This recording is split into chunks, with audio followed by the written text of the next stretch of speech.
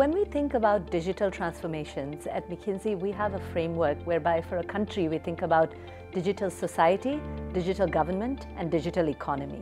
Now, let me take them one by one in terms of how Asia has done over the last several years and how I think about the future for Asia. Let's start with digital society.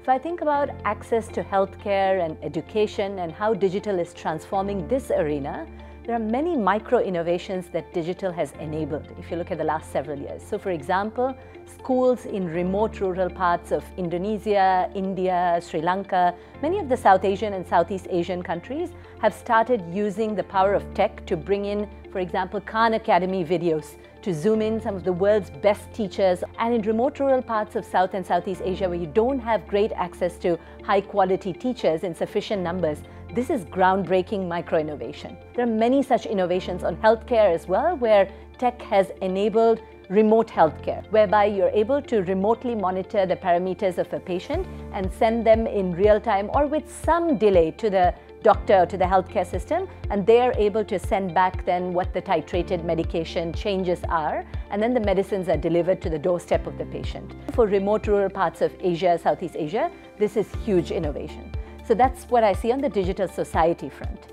When we think about the next pillar on digital government, again, there have been many innovations, but the one that comes to mind immediately is in India, the power of the national digital identity. In India, what that has enabled is significant increase in universal healthcare access and ability to provide conditional cash transfers that are then tied to monitoring outcomes, the doling out of this, which previously was not possible.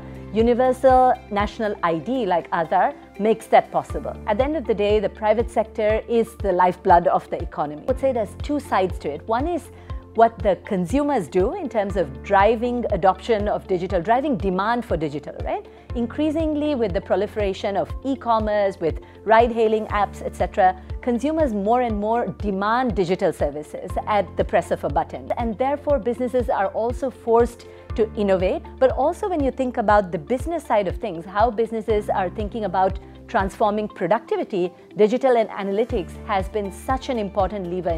Last but not least, one underpinning factor that I want to touch upon is the importance of talent because uh, what becomes a bit the bottleneck, whether it is digital society, economy, or government, is the availability of high quality digital talent. Increasingly, in many of the countries, there are initiatives that are being put in place at many different levels, starting from the school level to say how do we put in place a STEM curriculum, a digital and analytics curriculum so that our students of tomorrow 10 years, 20 years from now are much more digitally savvy and ready. So that's the important uh, job to be done, if you will, on providing digital talent to economies.